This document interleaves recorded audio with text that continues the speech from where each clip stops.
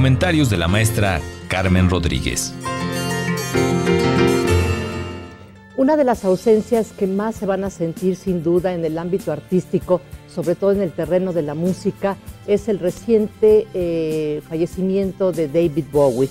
Esta leyenda, músico británico que muere hace unas semanas, eh, autor de clásicos como Starman y Space Oddity.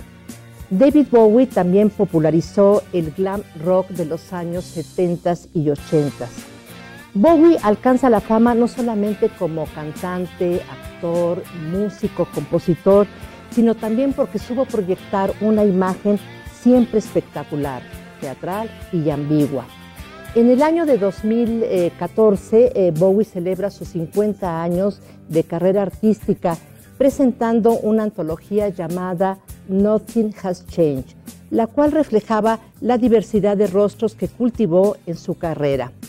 A raíz de su muerte, David Bowie ha recibido innumerables homenajes.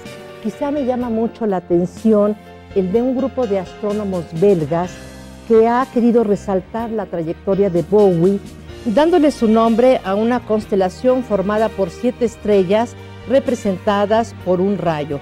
Esta se encuentra ahora visualmente en el entorno de Marte.